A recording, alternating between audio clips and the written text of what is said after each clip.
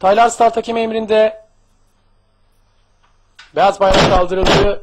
Start verildi ve koşu başladı sayın yarışseverler. 9 numaralı Diriz Eko rakiplerinin yaklaşık 3,5 boy kadar gerisinde kaldı.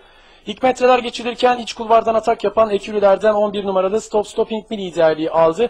1000 metre start yerine doğru farkı 2,5 boya kadar çıkardı. Bariyer dibinde 2 numaralı Prens Nalu ve hemen dışındaki 3 numaralı Özgün Şah ikilisi takibe başladılar. Bunların 1,5 boy kadar gerilerinde iç kulvarda 8 numaralı Purboy. Hemen yeninde Ekürülerden 5 numaralı Beyyahan. Onun 1,5 boy kadar gerisinde iç kulvarda 7 numaralı Laroşa daha sonra 10 numaralı Gold Kid sırasıyla Taylar son 600 metreye doğru yaklaşıyor. Liderlik 11 numaralı Stop Stopping Me'de fark 2,5 boy kadar. 6 numaralı Baycan'ın ikinciliğe kadar sokuldu. Öndeki ekürisiyle olan farkı azaltmaya çalışıyor.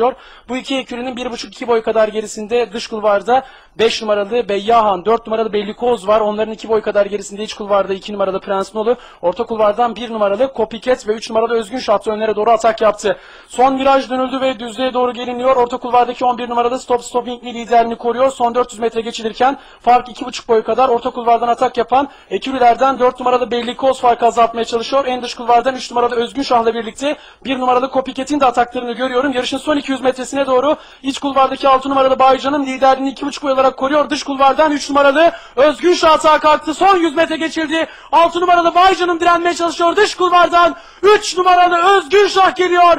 Rakibini yakalıyor ve koşu 3 numaralı Özgün Şah kazandı. 6 numaralı Baycan'ın ikinci oldu. 1 numaralı Copycat üçüncü. 5 numaralı Beyyahan da koşuyu dördüncü olarak tamamladı. İkinci koşuyu 3 numaralı Özgün Şah Çetin Ok'la kazandı. Muhtemel Ganyan'ı 4.80.